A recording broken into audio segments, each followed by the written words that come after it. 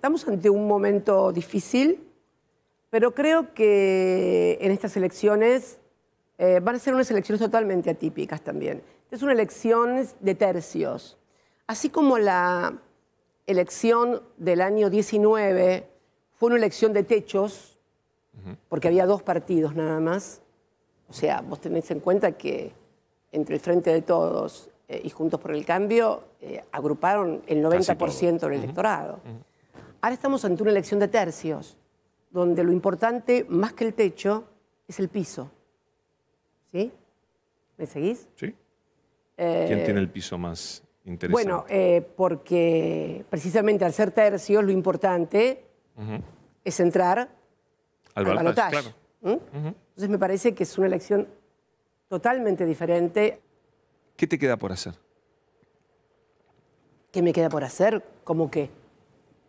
No entiendo la pregunta. ¿Qué me queda por hacer? ¿Qué? ¿Como ¿En Cristina? política?